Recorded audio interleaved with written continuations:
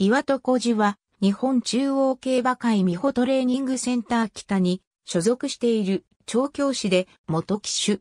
1985年3月美穂、山崎将棋厩舎所属の騎手としてデビュー。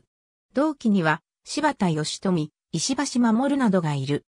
途中フリー転向を一度挟み、デビュー当初所属した山崎厩舎のほか、鈴木新弘厩舎にも席を置いたが、現役生活16年間で重賞勝利や表彰等の特筆すべき実績はなく、2000年2月、調教師免許の取得に伴い現役を引退。騎手成績は、中央通算1909戦83勝、地方通算31戦1勝であった。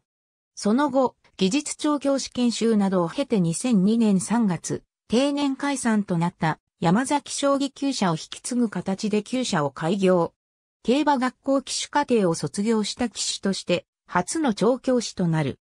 開業初年度こそ7勝に終わったものの、以後は勝利数を2桁を維持し続け、2007年11月に管理場である不採地アソートが東京スポーツ杯2歳ステークスを制し開業6年目で重賞初勝利を達成。その翌年の慶応杯2歳ステークスで通算100勝を2度目の重賞勝利で飾っている。